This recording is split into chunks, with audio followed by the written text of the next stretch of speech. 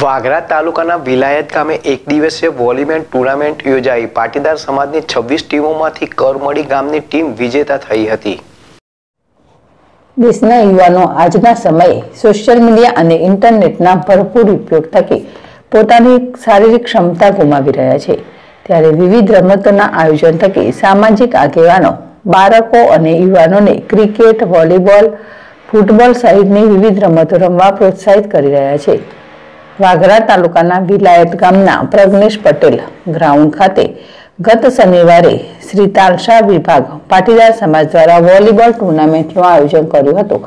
એક દિવસીય એટલે કે શનિવાર રાત્રિના સમયે વિવિધ ગામોની સવ્વીસ જેટલી ટીમોએ વોલીબોલ ટુર્નામેન્ટમાં ઉત્સાહપૂર્વક જોડાયા હતા, જેમાં બે વોલીબોલ ગ્રાઉન્ડમાં આખી રાત ચાલેલી ટુર્નામેન્ટમાં કરમડી ગામની ટીમ ફાઇનલ વિજેતા બની હતી. ત્યારે રનઅપ રહાડ ગામની ટીમ બની હતી.